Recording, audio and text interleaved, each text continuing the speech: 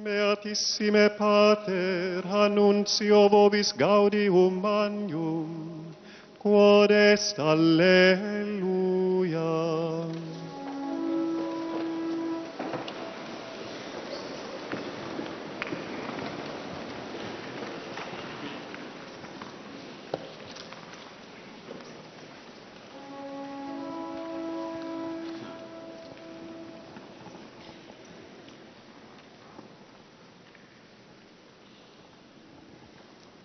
Alléluia.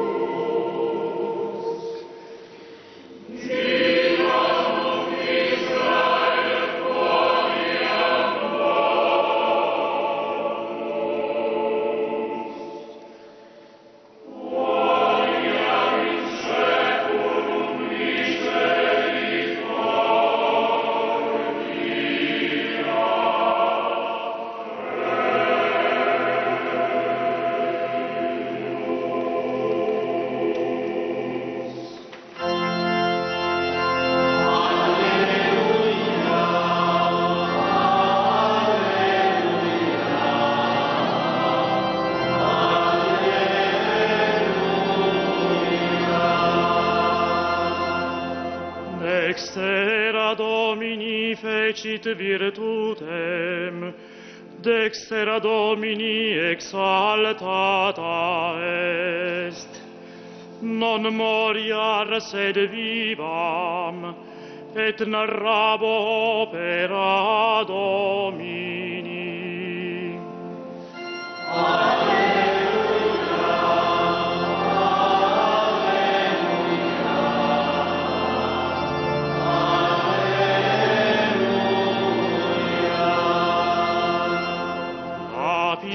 quem quem reprobaverunt edificantes hic factus est in caput anguli. Ad domino factum est istud et est mirabile in oculis nostris.